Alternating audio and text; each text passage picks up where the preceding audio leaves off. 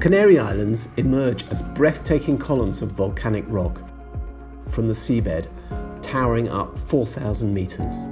The islands are all a short distance from one another. However, each of them is a unique world in itself, a kind of micro world. Because of their geographic location, morphology, and great elevation, combined with its proximity to North Africa, the islands offer amazing weather conditions.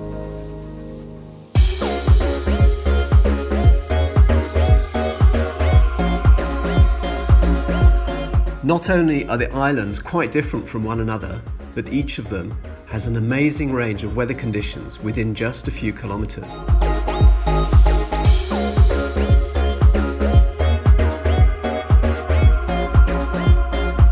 For that reason, the Canary Islands are said not to have just one climate, but a whole range of different microclimates.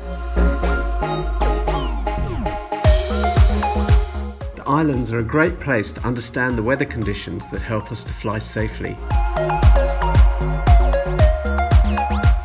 Thanks to the high number of flyable days throughout the year, the islands are a perfect place to learn, progress, and gain knowledge and expertise to become an experienced paraglider pilot.